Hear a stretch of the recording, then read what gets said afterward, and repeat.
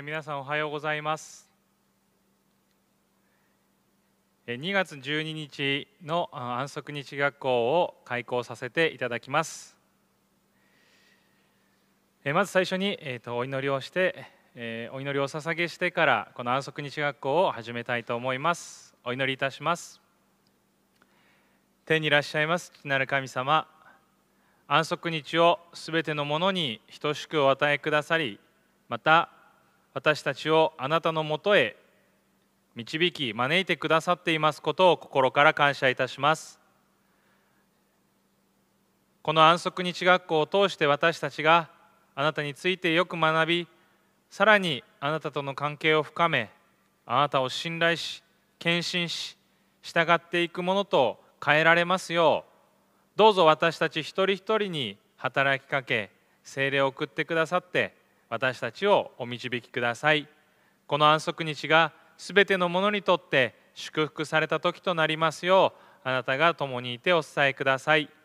感謝してこの祈りを主イエスキリストの皆によってお捧げいたします。アーメン。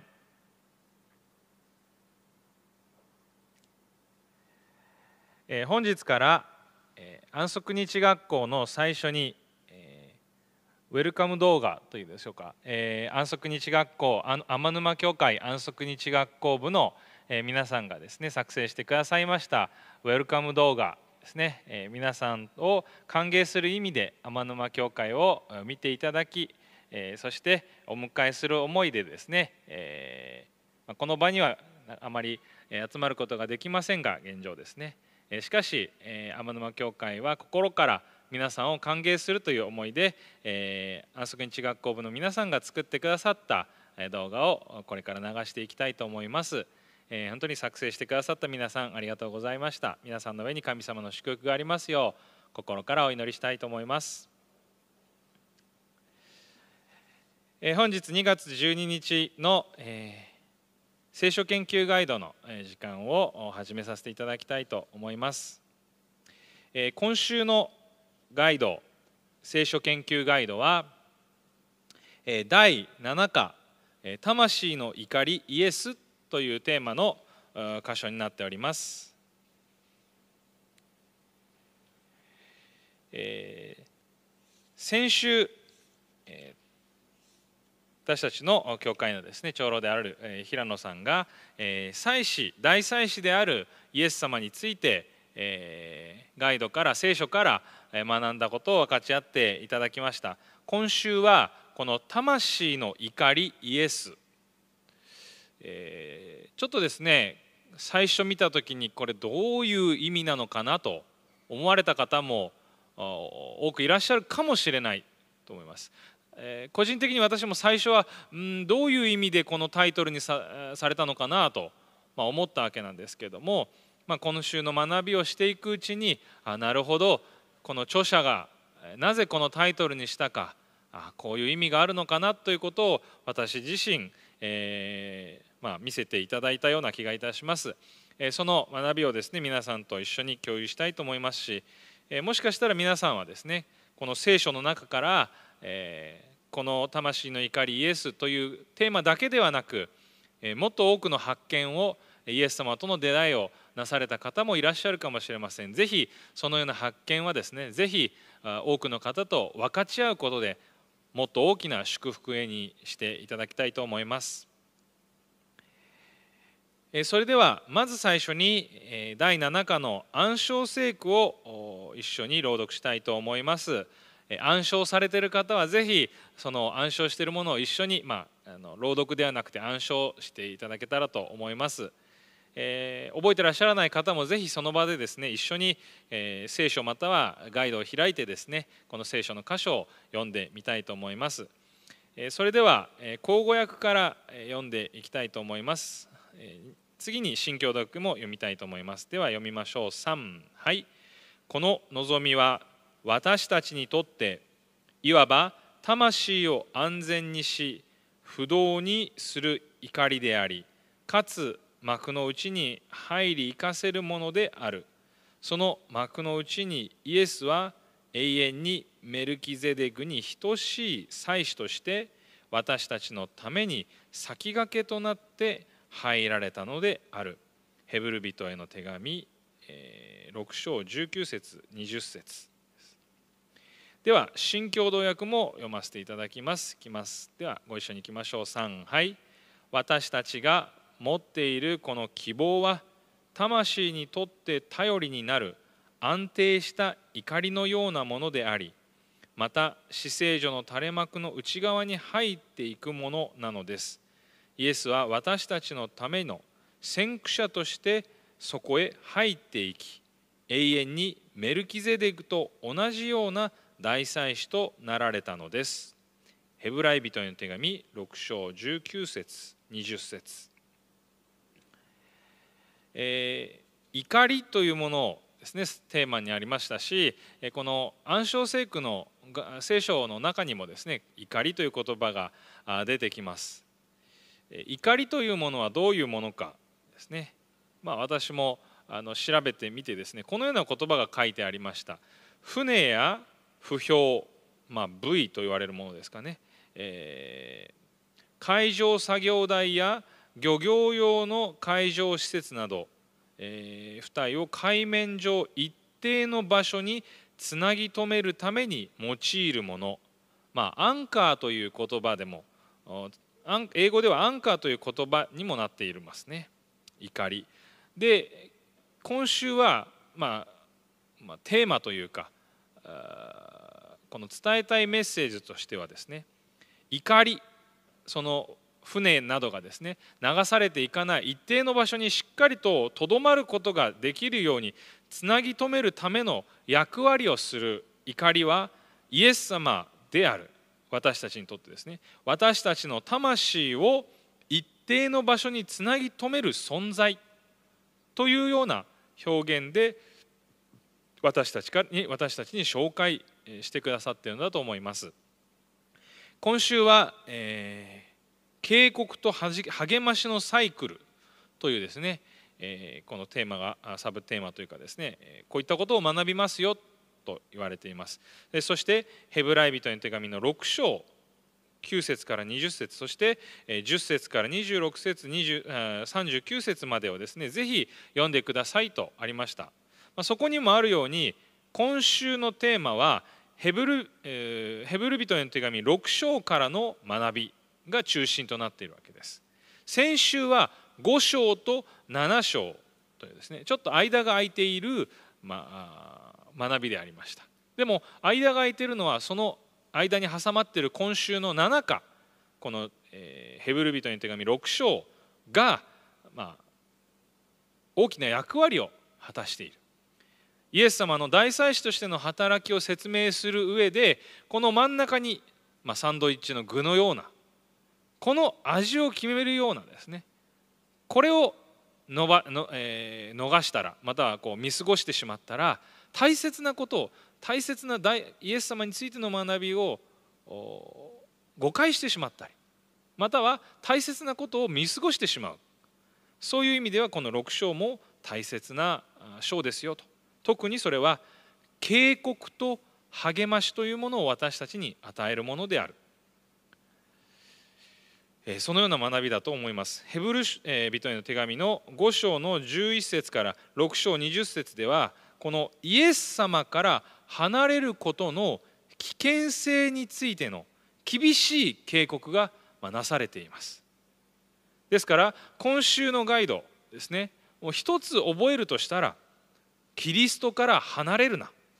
魂の怒りであるイエス様としっかりとつながりそこから離れないように大祭司なるキリストの働きから離れないようにしましょうというのが大きなメッセージとなっていると思います。えー、日曜日ですね日曜日のところを、え、見てみたいと思いますけれども、そこにヘブル、え、ヘブライ6章の4節5節を読んでくださいというふうに書いてあります、えー、一回ですね読んでみたいと思います。ヘブライ人への手ヘブル人への手紙、え、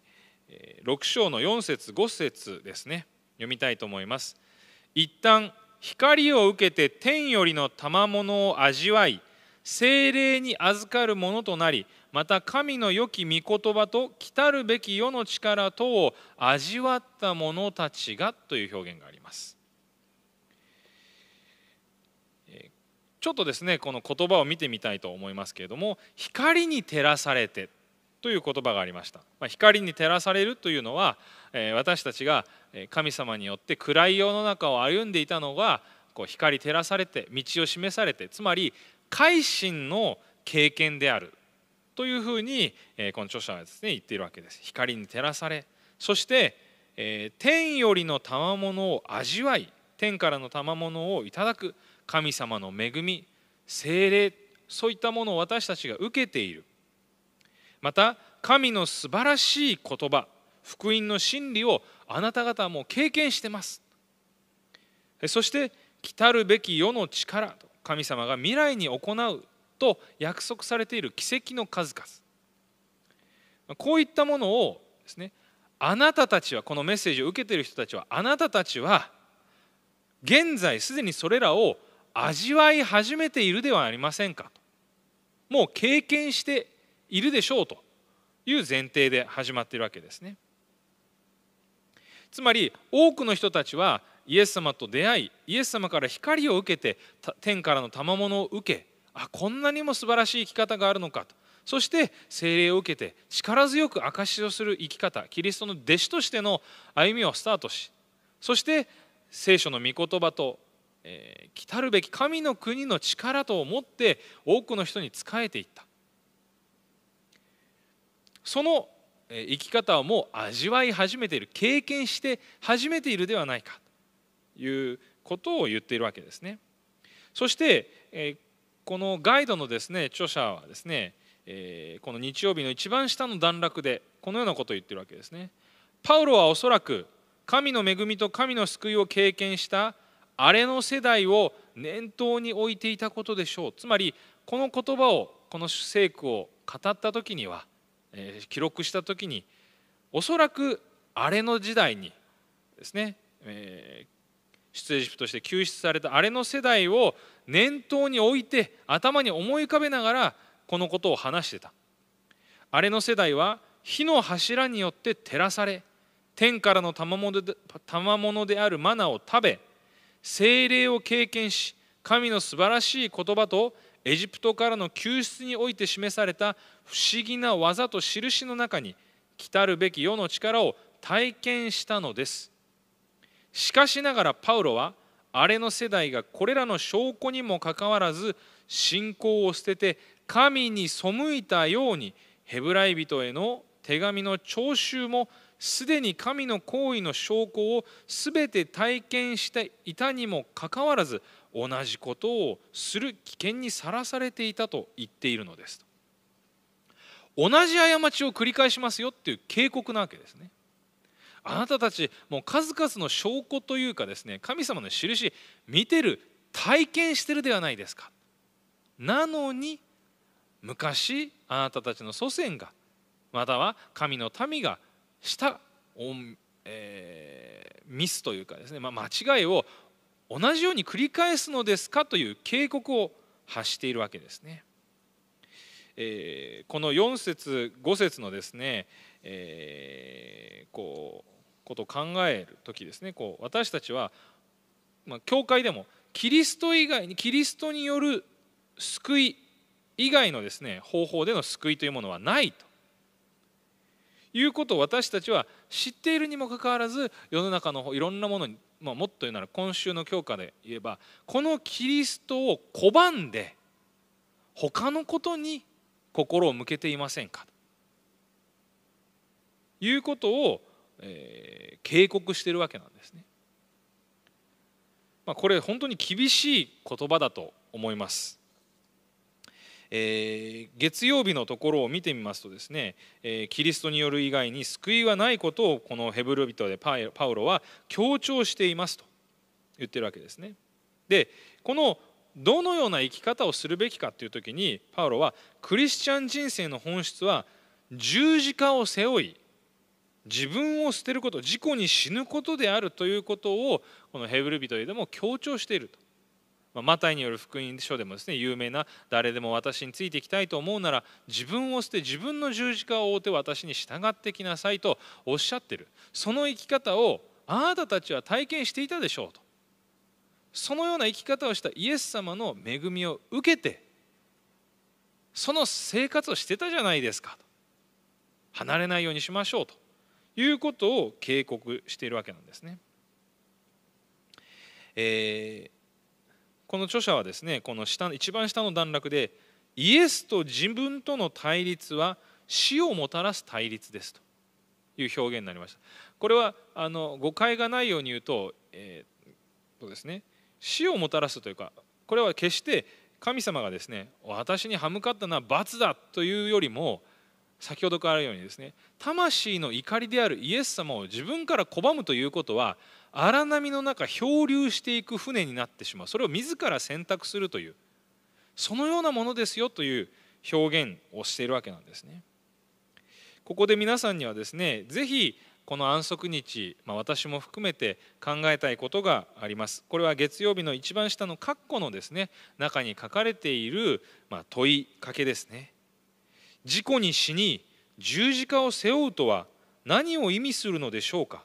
あなたにとってキリストの支配に屈服するのを最も厳しくしているものことは何でしょうか？という問いですね。ぜひ私たちもこの問いはですね自分自身でも考えてみたいと思います。えーぜひですねこのガイド終わってからもですねあ自分の生活を見てもし私が自分の私をつなぎ止めようとしているイエス様に従うことまあその下にこう従順に従うことを厳しくするものは何なんだろうかということですね。キリストと離れることは死先ほども言いましたイコール罰ではなく危険だよという警告なわけです。そのことを私たちは覚えなければいけないということをこの著者がですね私たちに言って、まあ、ヘブライ人へも手紙もですねそのようなことを私たちに言っているわけなんですね。で火曜日のところをちょっと見てみますとですね、えっと、ヘブル人への手紙の10章のところをですね、まあ、ぜひ読んでくださいっていうふうに書いてあります。なぜ突然10章が書かれているのか、えー、一度ですねこの箇所もですね読んでみたいと思います。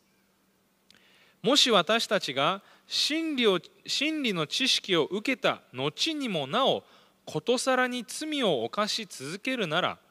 罪のための生贄はもはやありえない。ただ裁きと逆らう者たちを焼き尽くす激しい人を恐れつつ待つことだけがあると。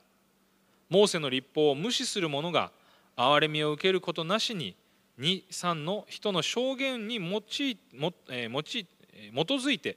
死刑に処せられるとすれば神の子を踏みつけ自分が清められた契約の地を汚れたものとしさらに恵みの御霊を侮る者はどんなにか重い刑罰に値することであろうというですね。非常にま厳しいというかですね。まあまあこれは厳しいっていうのはなんかいじめてるというようなイメージよりもですね。むしろこういう現実があることを私たち知らないと。神様から離れて神様の救いから離れるというのは先ほども言ったもう大荒れの嵐の中一人で怒りを外して安全な場所を離れていくことそれほどのリスクがあることであるということを私たちどんなに気づいてないのかということを教えているような気がします。でなぜこのヘブル人への手紙の10章のところが引用されているかといいますと先ほど見た6章とのところですね警告というのに非常によく似ているものなんですね、まあ、リンクして、まあ、6章で警告したことを10章になってもう一度さっき言ったけどもう一度そのことは言うよという意味で、え、イエス様の犠牲を拒む者は罪の許しの手段を失うことになるよということをま、説明しているわけなんですね。えー、聖書の中にもですね、えー、このイエス様がこの十字架を背負ってくださった意味というものは多く書かれているので皆さんも聖書から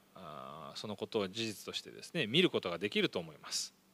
例えばガラテヤの6章14節ではしかし私自身には私たちの主イエス・キリストの十字架以外に誇りとするものは断じてあってはならないこの十字架につけられてこの世は私に対して死に私もこの世に対して死んでしまったのであるというふうに言葉を残しているわけなんですね。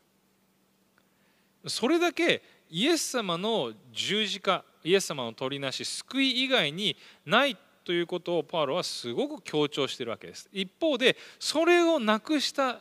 えー、その怒りというかですねこの救いの手段をなくした人間がどのような悲惨なものであるかということも私たちに事実として伝えなければならない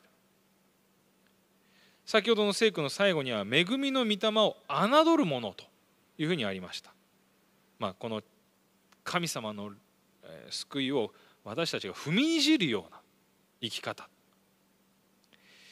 えー、まだあの福音書マタイによる福音書やマルコルカ、えー、全部にありますけれどもその中にもですね神の霊を冒涜することは許されないと。これは許されないんだよというふうに、えー、聖書が言っている箇所があります。ということはこれはま冒涜するというのは私たちが与えられた救い提供された救いに対して私たちがそれを経験しているにもかかわらずそんなものはやっぱりいらないと言って、まあ、まるでやっぱりエジプトの方が良かったとかですね。やっぱりキリストがいない自由に生きている時代の方が良かったと言ってその救いをまあ汚す踏みにじるということは今日のテーマでもあるこの怒りを離して捨てて私たちがもう漂流することである魂の怒りであるキリストにフォーカスを当て強調しているんですねパウロは。それほどまでに私たちにとってこの大切なことが私たちに警告として与えられているということなんですね。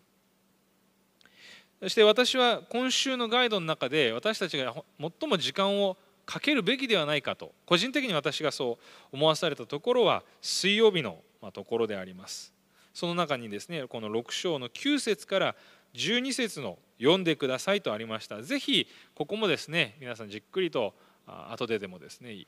読んでいただければと思いますけれどもまずはですね最初読ませていただきます。ヘブル人への手紙6章の9節から12節。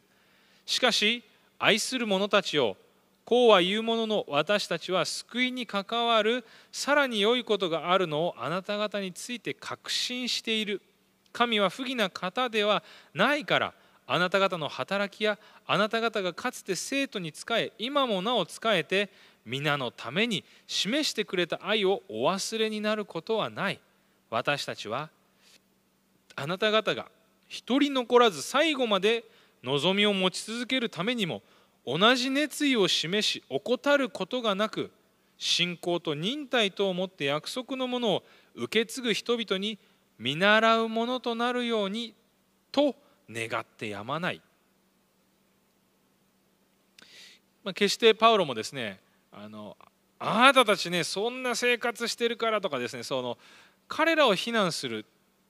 というですね直接的にですねお前はこんなことやったからだという非難ではなくてですねこの人たちに対してあなた方の働きやあなた方がかつてあの弟子たちに伝え使ええー、今もなお仕えて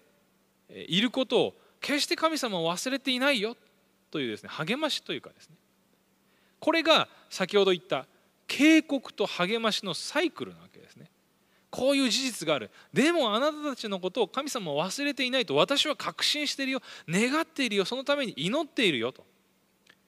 もちろん事実としてこの怒りを外す危険というものを十分に解かなければいけない。しかし私は最初にあるように愛する者たち。あなたたちの本当に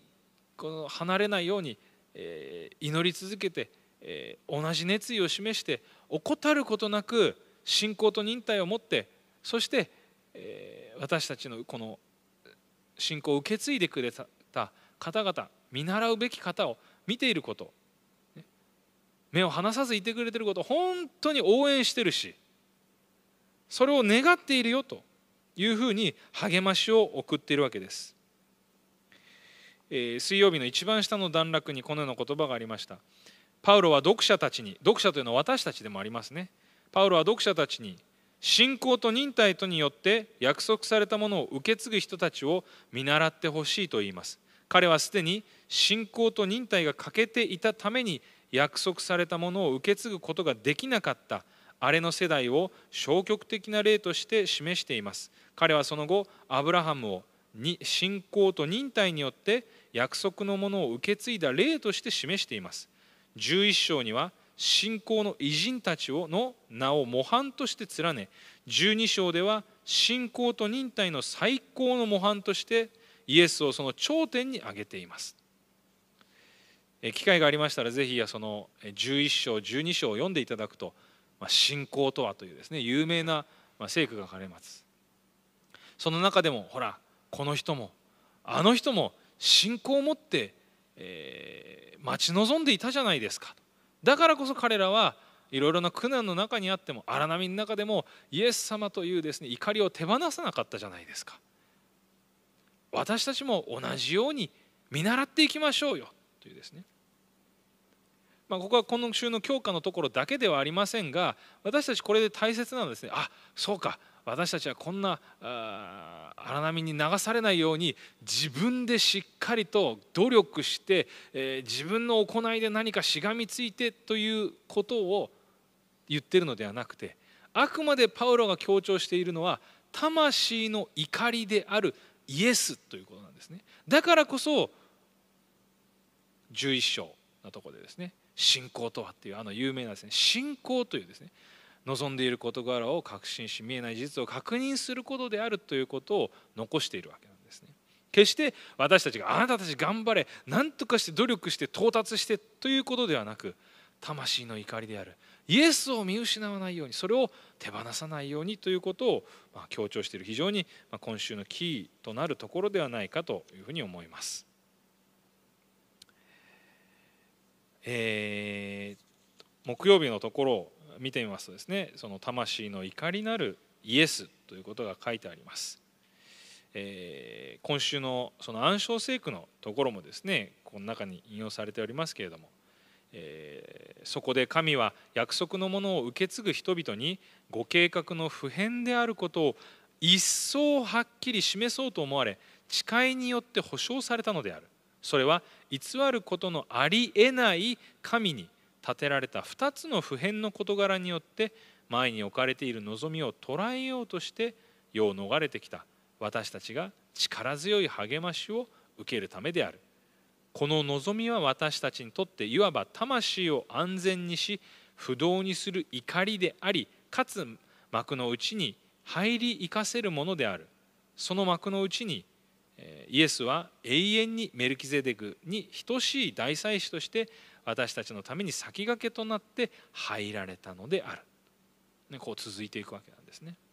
まあ、ぜひあのこの幕の内のことですねこう聖女の中とか、え、メルキゼデクとかそういったところに関してはですねちょうど先週のガイドの中でもですねいろいろな解説を平野長老がしてくださってますので合わせて見られると復習にもなってですねあそうだったと思い,、え、思い出せると思います。え、この廃墟への警告とこの愛と信仰への励ましをキリストにおける保証についてですねこうえー、美しく高尚な説明でこのパウロはですね締めくくって締めくくろうとしてるわけですね。まとめようとしてるわけです。一つ目は神様は誓いを持って保証してくださいますよ。ということですね。誓って。神様はの誓いはイスラエルに対する神の普遍的な寵愛を信じる究極の基礎となりますよと。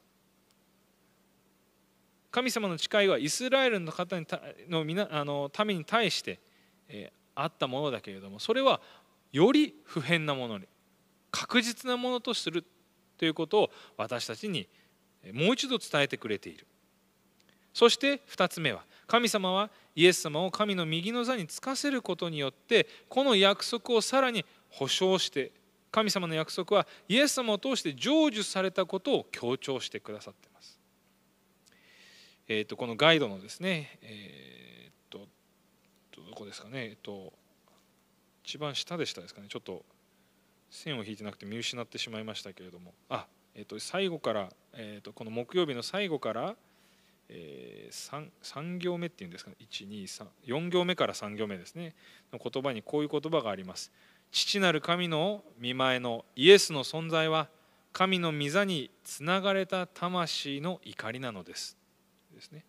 神様は私たちをつなぎ止めるだけではなく神様の約束も不動のものにしてくださって確かなものであるということを私たちに示してくださっている、えー、今週のですねこのヘブル人への手紙の6章からの学びというのは私たちにとってちょっとこうまあ部分部分だけ見てしまうとですねイエス様から離れることの危険性について学びそれをなんかこう脅しのように使っているようにも見えなくはない。あの部分部分だけ見てしまったらですね。しかし文脈そして全体を見ていくときにこれは警告。ぜひこれ離れないでねって危ないからという警告と同時にあなた方のことを愛して覚えて励ましますよ励ましていますよというこの警告と励ましのサイクルというものを私たちが学ばなければいけない。まあですね時々、えーとまあ、例えばうちの息子たちもですねこうバスをバス通学してますけれどもバスを待ってる時にですねこうふざけてこうちょっとなんかぴょんとなんかこう道路とかにこう飛び出してしまったり自転車が通るところところでですねこうわーとか言ってこう周りを見ないであのファーって出てしまう時にですねこう横にいて「はいそっちに行かない」って、まあ、怒りではないですけれども、まあ、どちらかというとこう止めるような役割になってしまいますけれどもイエス様は同じように私たちがここから離れる危険性ということをよくご存知だからこそ計画警告してくださってるわけですね。そしてそれは決して私たちが何も知らないわけではなく本来だったらイエス様を信じている私たちは素晴らしい恵みをすでに味わって体験しているからこそそこから離れないようにということを私たちに警告してくださっている。離れてあなた離れるなっていうのではなく離れていないからこそ警告を与えあなたたちはよくそこにつながっていますねと。あなたたちのことを神は忘れておられないはずですよ。間違いないですよ。私はそのために祈ってますよということをパウロは必死に伝えてくださっている。その状態から堕落しイエス様から離れることを選ぶことは危険であるという警告がある。そして信仰と忍耐をもって愛を表していくこと。約束の保証であるイエス様から離れないことが勧告されている。まあ、この7日のところで学ぶことはある意味、えー、この今期のこのヘブル人への手紙の学びの中で私たちをこうもう一度あ大切なところにもう一度着地させてくださってなんかちょっとこう心配になってきたけれどもあいいんだここにいなければいけないんだイエス様の身元にいなければいけないんだということを確認させてくれる、まあ、そんな学びだったんじゃないかなというふうに感じております。えー、最後の金曜日のさらなる研究の中でこのようなキリストへの道のですね言葉が引用されていました。えー、自己との戦いは最も大きな戦いです。自己に打ち勝ち神の御心に全く従うには戦いを通らなければなりませんしかし神に服従しなければ魂が成果されることはないのですこれはあのぜひ忘れたく忘れないように心に留めておきたい言葉だなと思います。今週の教科を学んであなんだか頑張んなきゃいけない。なんだかこう離れないように必死に努力しなければいけないと。そういう思いでなんかこう私たちは良いことをしなければとかですね。そういう方向に走ってしまわないように。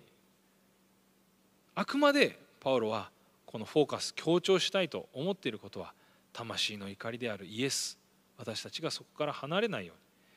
神に服従しなければ私たちは何一つできないし何一つ変えられることはできない変えることはできない。だからこそ自己に打ち勝ち神の御心に全く従うには戦いは通らなければなりません。戦わなければいけないんですね。自己と戦わなければいけないわけです。自分と戦う時に自分で戦ったら、まあ、勝てるかどうか。だからこそこのキリストによって私たちは十,、えー、十字架を自分の十字架を背負ってそしてこの十字架にかけていただき新しい命をいただいてイエス様によって作り変えていただくこと私たちはそれを本当の希望としたいと思います。えー、ぜひですねこの、えー、話し合いのための質問ですねこの一番最後に書いてあるところもですねこれはこの安息日の午後などにですね考えるいい機会になるんではないかなとも思います。えー、ま、丸一っていうんですかね問一というのか丸一かですねこの中にも愛された弟子ヨハネとイスカリオテの人生の対比をこう私たちにですねこう提案してくれています。えぜひ、まこういったですねこうところにも目を向けて私たちがですね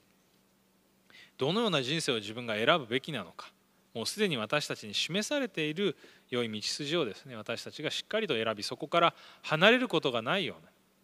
うなぜひですね共に祈りまた私たちも互いにこの警告脅しではなくですね警告と励ましのサイクルをですねしっかりと日々神様から頂いていきたいというふうに思います。皆さんの学びが本当に豊かに祝福されその受けた祝福が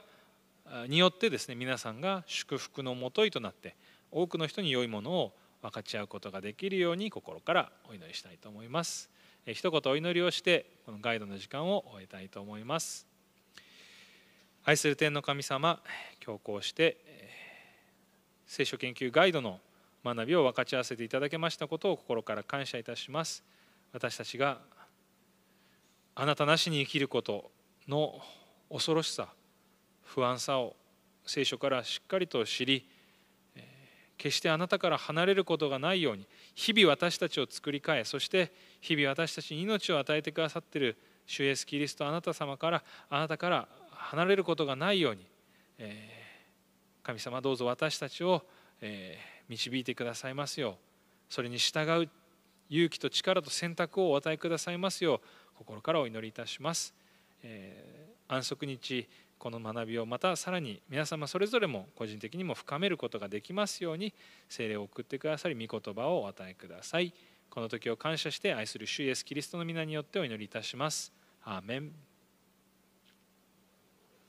あ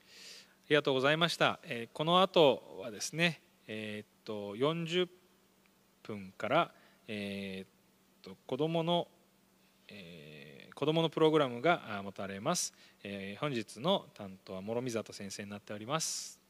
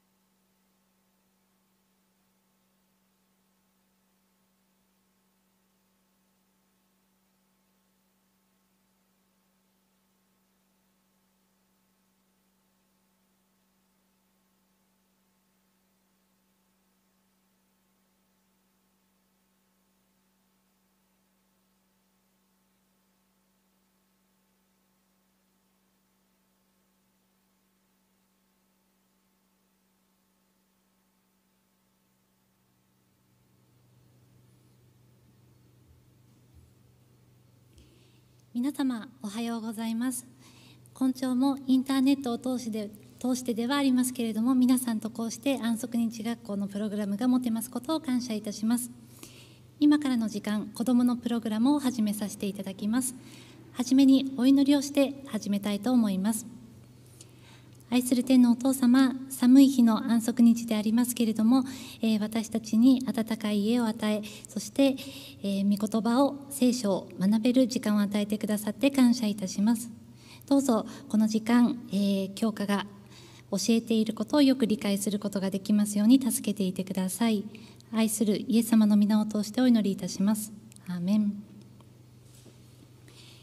今日はえー、下級生の方の教科ですけれどもイエス様大好き聖書物語12の第7課なぜいろいろな人種がいるのかな？というところを一緒に勉強してみたいと思います。えー、下級生の皆さんは手元に教科があったら一緒に開いて見ていてください。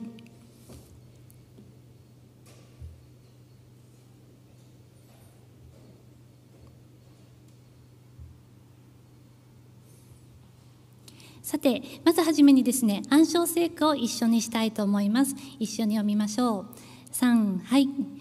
神は一人の人からすべての民族を作り出して地上の至るところに住まわせ。使徒原稿録17章26節です。今日のお話は教科の最初のページに書いてありましたけれども、えー、女の子がですね「ねえどうして同じ人間なのにいろいろな人種があるのかしら?」という疑問があってそして男の子が「ねえお助けマン教えて」ということでお助けマンの代わりに、えー、教科を皆さんと一緒に読んでいきたいと思います。先週はですねノアの洪水の場面までをお勉強しました。洪水の後ノアの3人の息子たちヤフェトセムハムの子孫たちは自分たちの気に入った場所に移動して住むようになりました。ヤフェトの子孫たちは主に地中海の国々やヨーロッパ方面に。セムの子孫は今のパレスチナを中心に住みハムの子孫はアラビアエジプトアフリカなどに広がっていきました。動物や植物もそうですが人間は住んでいる環境によっていろいろな特徴が出てきます。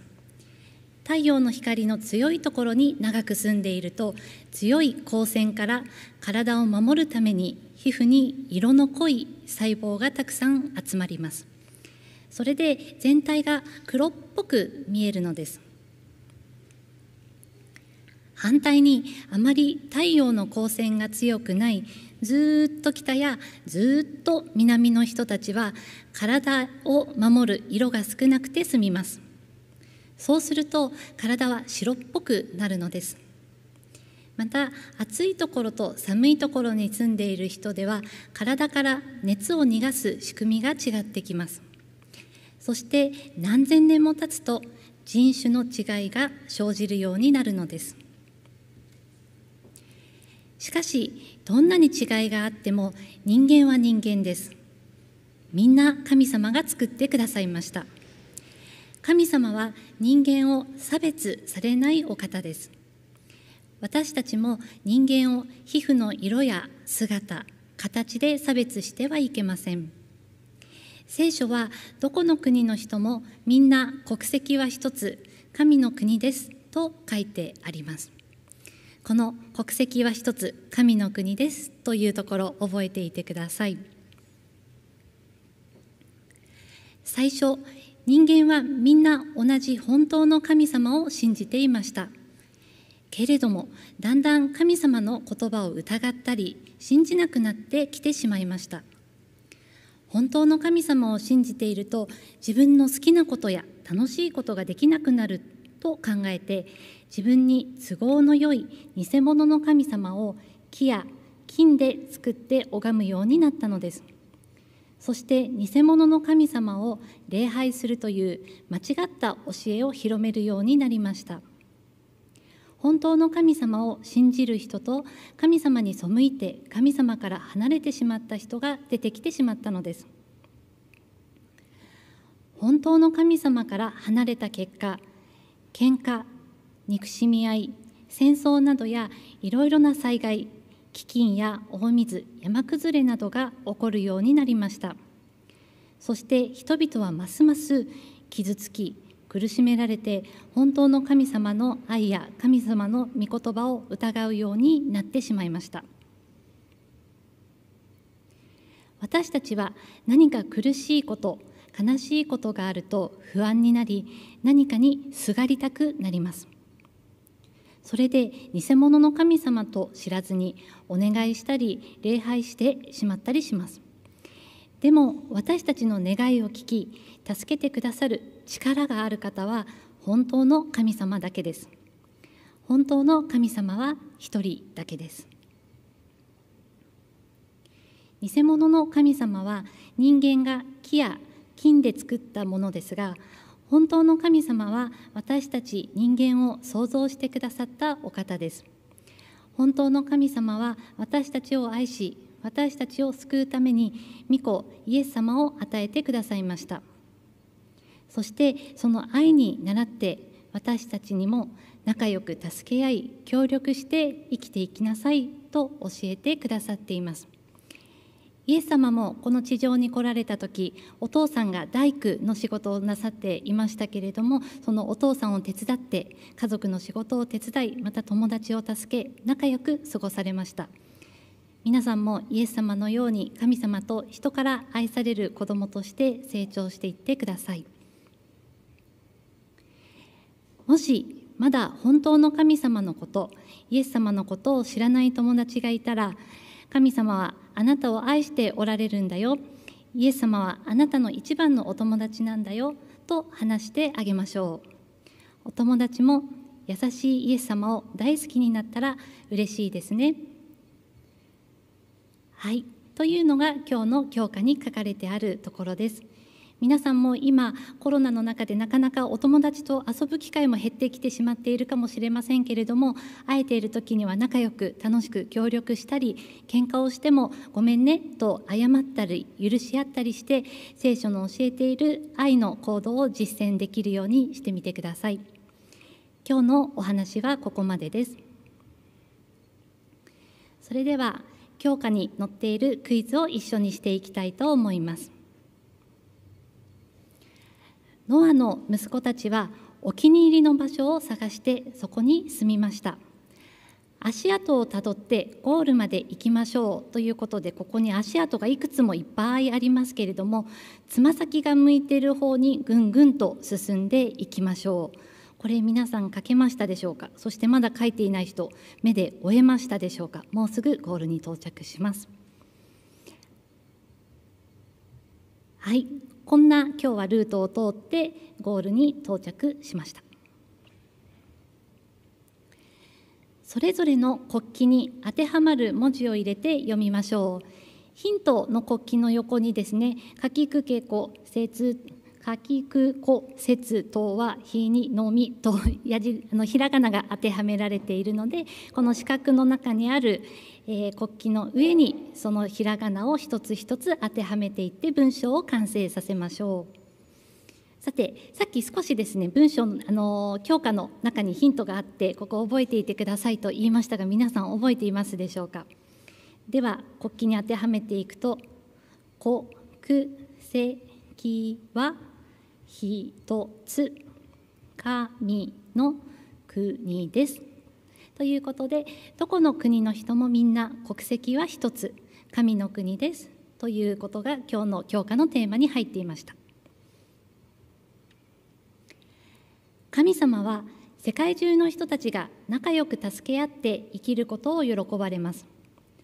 バラバラになった世界地図が1枚足りません。何番の地図ですか？ということで上にですねピースがかけらあのバラバラになっていますけれどもこれを下のように本当は当てはめていきたいのですが何かが足りないようです。さて一番左側からどこかなと考えてみるとこの一番左側はですね3番だと思います。その次が4番逆さまになっていますけども4番の次には5番の地図のかけらがあります。その隣が6番。その隣は1番です。3456がありますけれどもそれでは足りないのは何番でしょうか。はい。正解は2番です。皆さん分かりましたか？はい。最後の問題です。皮膚の色や体格が違っていてもみんな神様の子供です。写真に写っていない人がいます。当てがはまる人を丸で囲みましょうということで集合しているところの絵とこの後にですね記念写真を撮ったみたいなんですけれども横に4枚の写真が出ています。この写真の中にどこにも入っていない人が1人だけいます。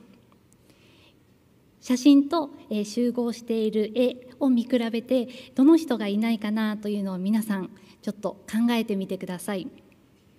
でもあんまり時間がないので答えに移りたいと思います。答えはこの小さな帽子をかぶっている男の人がこの4枚の写真の中には写っていませんでした。見つけられた人いましたでしょうか？はい。来週のお知らせです。え今期はですね聖書のたくさん教えの概要を勉強している教科なんですけれども来週の8課は「お化けっているの?」というタイトルです。楽しみにしていてください。それではお祈りをして子どものプログラムを終わりたいと思います。一言お祈りいたします。愛する天のお父様